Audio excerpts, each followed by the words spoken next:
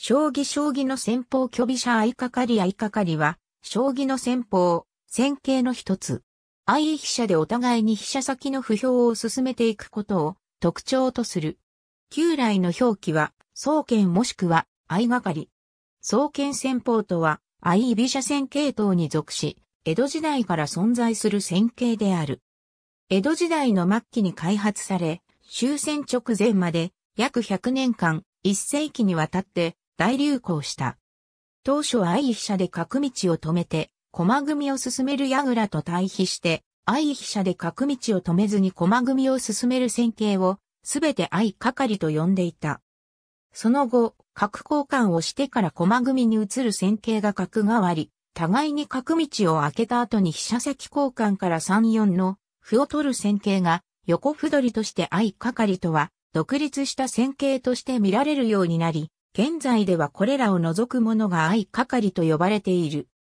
江戸時代から一般的だった定石は、角道を開けた後で飛車先の歩を伸ばしていき、歩交換をした後で横歩を取らずにそのまま飛車を引くものであったが、平成に入ってからは、お互いに角道を開けないままで飛車先の歩を伸ばしていき、飛車先の歩を交換した後で飛車を引くものが主流となった。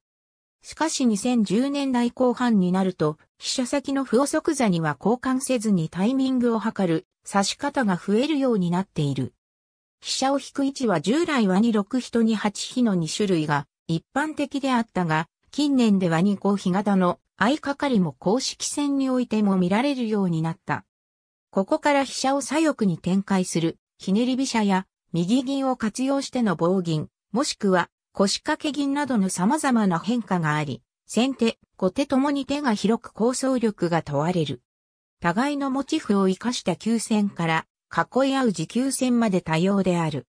出だしは2、6歩、8、4歩、2、5歩、8、5歩と飛車先の歩を伸ばし合い、7、8金、3、2金とお互いに角頭を守ってからと先行すると不利を招く後手爆弾を参照。互いに陣形を整備しつつ、気を見てに四歩同歩同飛と飛車先の一歩を交換するのが一連の運びである。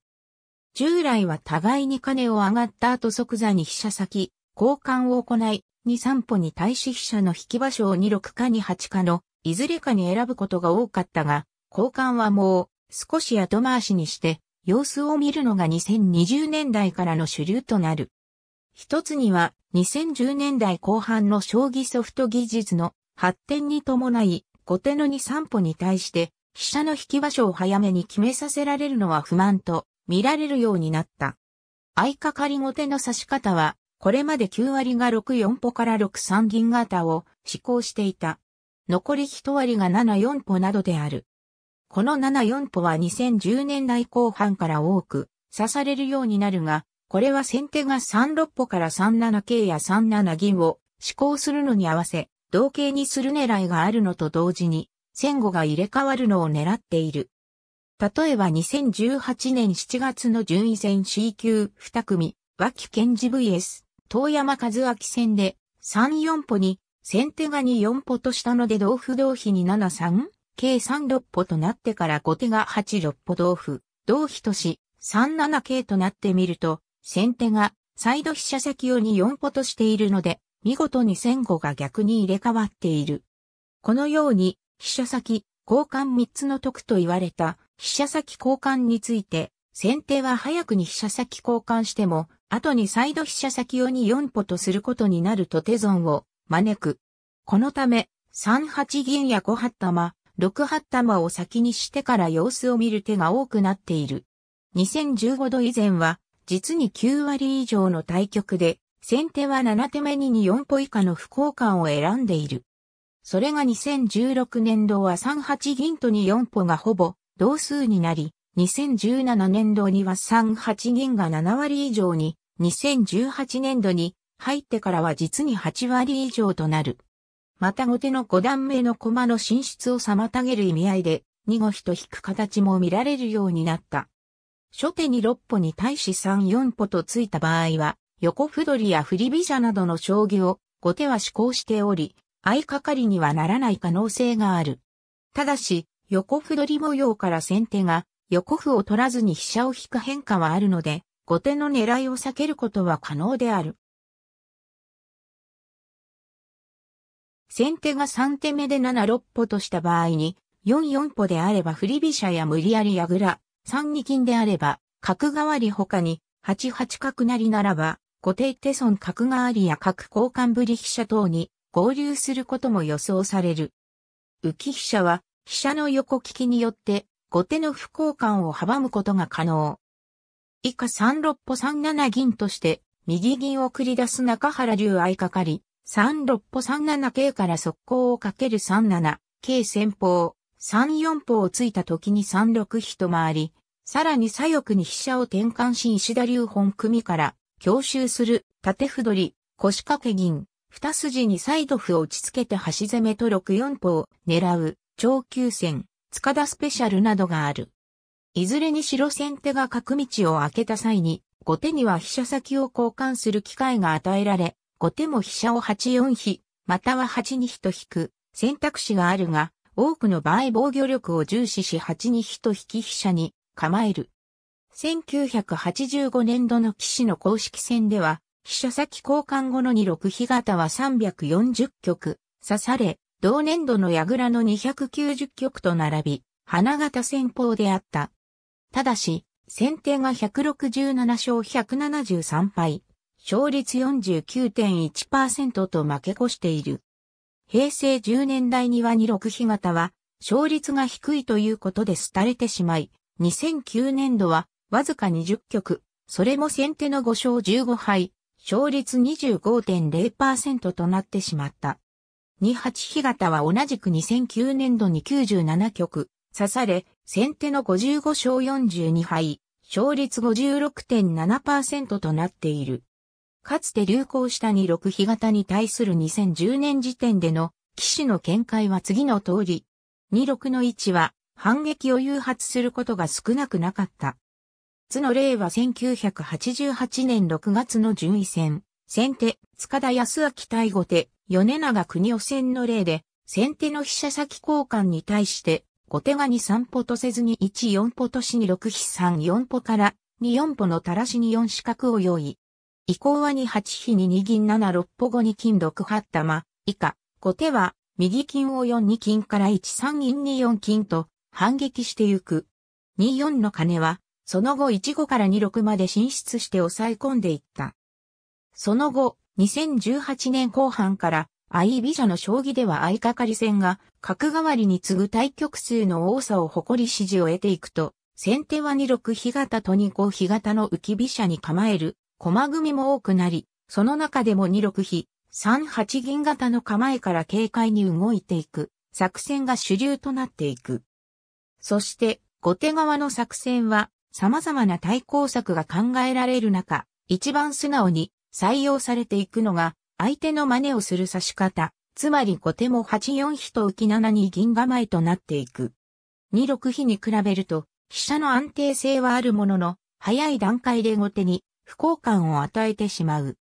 しかし、飛車の安定性を生かした棒銀などの戦法があり、先手の勝率が高く、現在では2六比型よりも主流となっている。3八銀2七銀3六銀4五銀といった棒銀模様から後手の駒組みを牽制し、腰掛け銀に戻すことが多い。対する後手は、先手の棒銀からの速攻を飛車の横利きで受けるため、8四飛と浮き飛車に構えることが多い。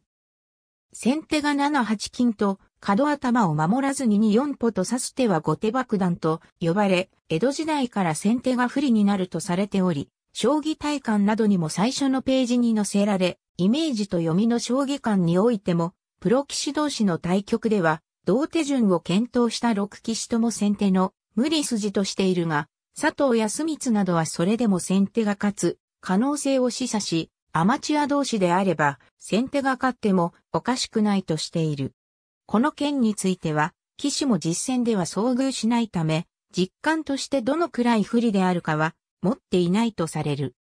ただし同書では、昭和初期には、例えば1933年年12月の講談勝ち抜け棋戦、先手、花田長太郎対後手、木村義雄などの相掛かり戦で何局か刺されており、こうした過程を経て、先手不利が定説となっているとしている。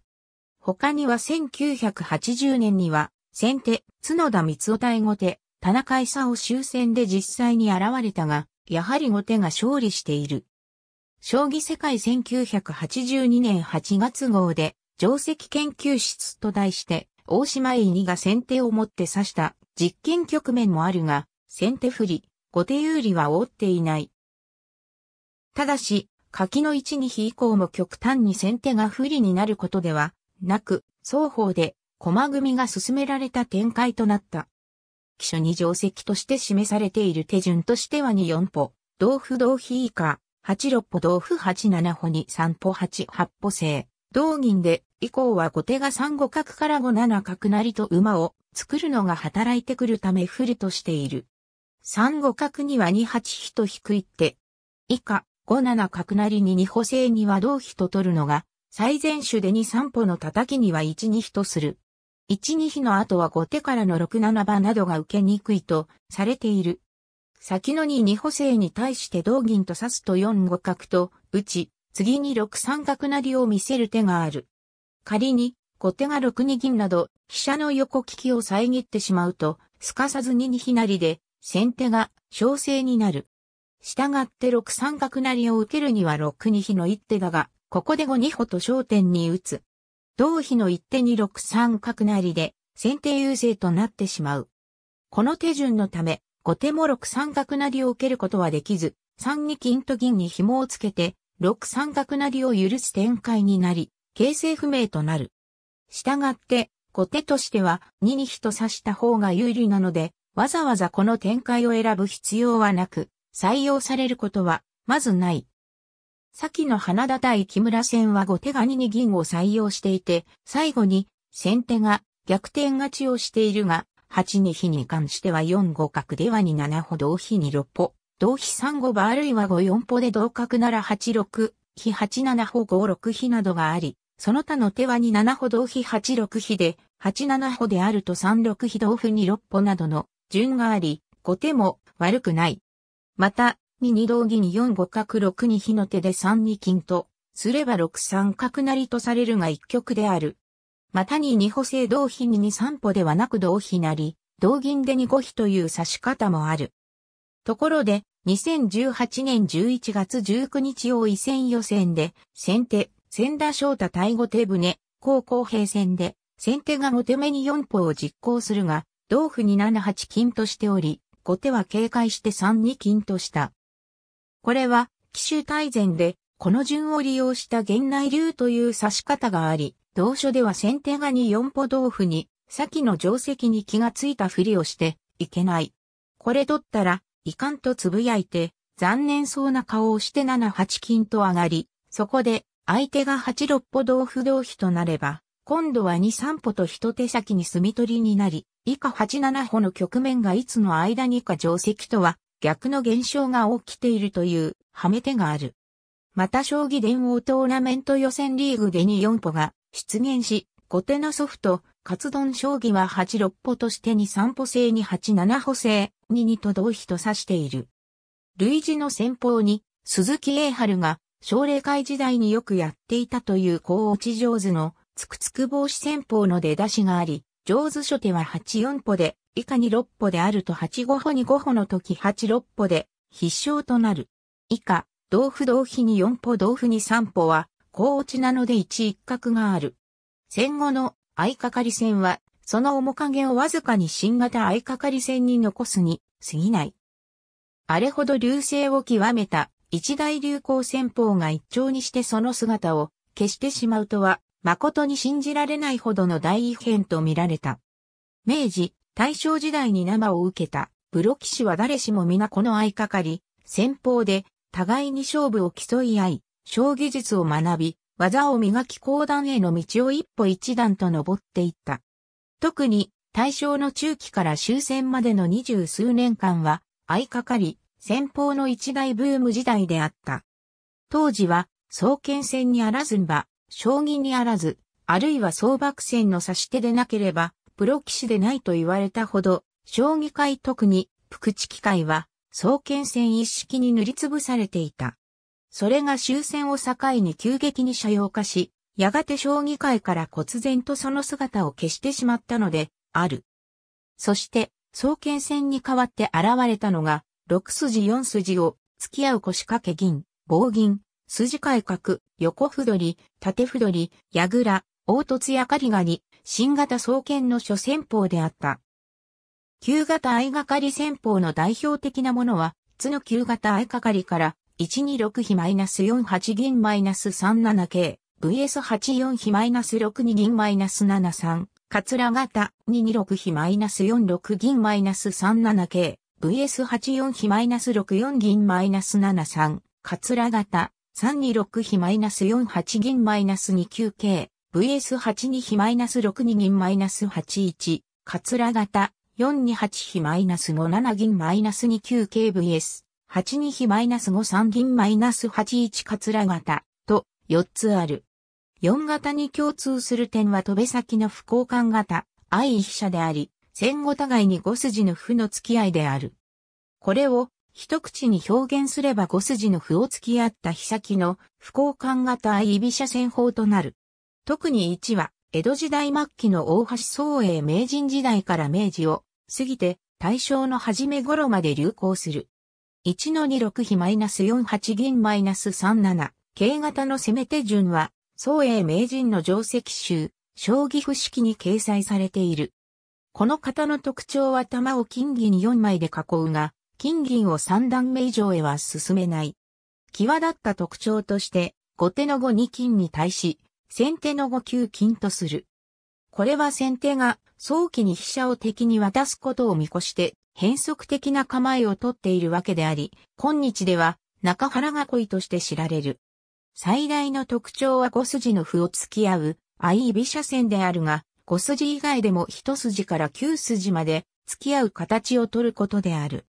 先端を開く先手は26比 -48 銀 -37 桂を構えたら3五歩とし、同歩に、先手には4五桂、3三三歩、1五歩の3手段がある。一例として4五桂以下の変化として、4四歩に4歩同歩同飛に3歩4四、非同角同角に2銀で、この時後手が8四飛の浮き飛車に構えている場合、6六角だ8五飛に2角成の筋が生じているのである。100年もの長い間流行してきた相掛かり戦では先、後手どちらか一方が5筋の歩をつけば、相手は物の響きに応じるように必ず5筋の歩を付き合った。つまり、5六歩と5四歩の形を規定にして戦われたので、ある。なぜ、5六歩に5四歩あるいは5四歩に5六歩だと応じなければならなかったのか。それは、昭和初期からの将棋が特に中央の位を天皇さんと重視し、騎士は代々これを将棋戦術の金貨玉城と信奉してきたからである。端的に言えば、5五歩と中央の位を取れば、先手有利、逆に5五歩なら、後手有利と思い込んでいたのである。この点、新傾向の4六歩と6四歩を相手に、中央の位を譲るが、その代償に位取りに要する二手を攻めの速度に逆用戦とした。いわば速度に重点を置く戦術である。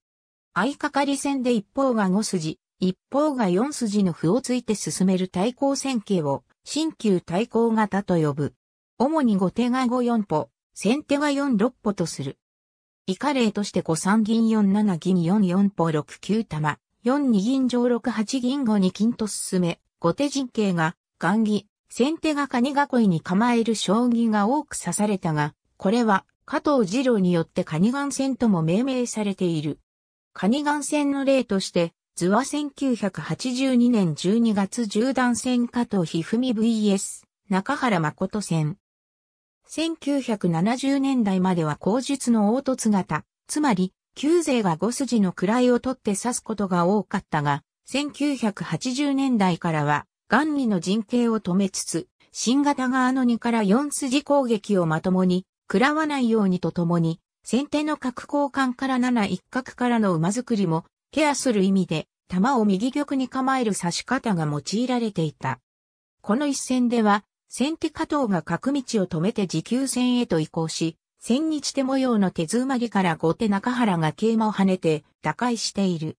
新旧対抗型の代表戦法とも言うべき、戦型には、相掛かり戦から進展した凹凸型戦法がある。旧型側が位を取った陣形である。この名称は、もともと先手、後手いずれか一方が小筋位を占めた戦の名称として知られる。凹凸型戦法の種類は、先、後手いずれか一方が5の位を取った戦型の総称とすれば、対ブリ飛車の5筋位取り戦法や5筋位取り、中飛車戦法をはじめ、その戦法の種類数はかなり多い。従来の方は先手、または後手の5の位取りと普通に呼んでいた、つまり、矢倉、腰掛け銀とかに相当するような適切な名がなかった昭和28年頃加藤二郎が勝手に命名したものである、後に認められるようになった、当時はいかにも妙な名称だけに定着するかどうか保証の限りではなかったという。加藤は記録する場合や将棋を教える場合には、一つの術語として簡単にして明確なもの、後手が五筋の位を取った時を凹凸型、先手の時を凸凹型とすれば、いちいち先手とか後手とか言わずに済むので、至極便利でもあるとした。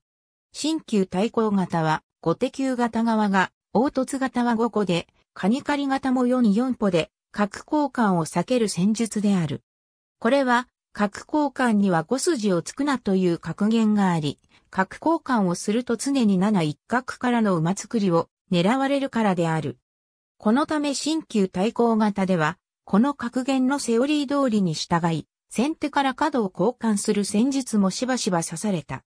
先手4、6歩、後手5、4歩で、戦型は、新旧対抗戦と決まると、先手の4、7銀と後手の5、3銀でこの型における右銀の定位置。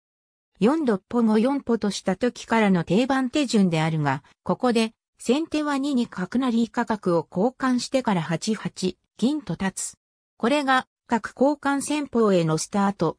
凹凸戦法や腰掛け銀戦法あるいは三六銀と出る鎖釜銀戦法とは、はっきりその進路を別にする。その後先手は六八玉と構える。これは昭和初期からの双剣戦での玉の動きを見慣れためには一風変わっているが、これが新型側の定石的な玉の動きである。また、場合によっては、ここが玉の終着駅でもある。理由は相手に飛車を渡したした時の備えと4-7、銀が他の場所に移動した時敵から大手の4-7角をあらかじめ消している得がある。図の例は1982年7月6日、第13期新人王戦の小林健二対西川、喜び2戦で、後手西川の早い5筋歩突きに、先手小林は2に角成と角交換。この局面で、後手は図のように菊水櫓から銀冠を目指す指し方が知られる。もし2四同比ならば2五歩と蓋をする狙い。図の例で、小林は3五歩と指した。なお小林は1983年1月18日、第24期王位戦予選決勝、対桐山清澄戦では後、鉄貝を持って指している。先手は中住まいが主流で、中住まいは中原流装係との相性が良い。腰掛け銀には、いちご囲い、兜やぐらなど六八玉型も主流で、中原流装係の後手もこの形が多い。気を見て六八玉六六角七七玉、八八玉と固くする場合もある。腰掛け銀や早繰り銀に五筋の歩をついて対抗する場合は雁木に代表される六九玉や後手雁木であると右玉がしばしば刺される。また六九玉型では中原囲いも古くから愛用されている。七九銀型の場合は銀が壁になっているので、カニ囲いにするなどして解消し、さらに櫓に発展する場合もある。持久戦になると、後手では、菊水櫓から組み替え銀冠を用いることも多い。相掛かりは飛車先を交換しており、角が睨み合っているために、相矢倉や角代わりのように弾を88.22の地点に移動した線形、持久戦になることは少なく、例えば中住まい対4二玉型などのまま戦いになることが多い。ありがとうございます。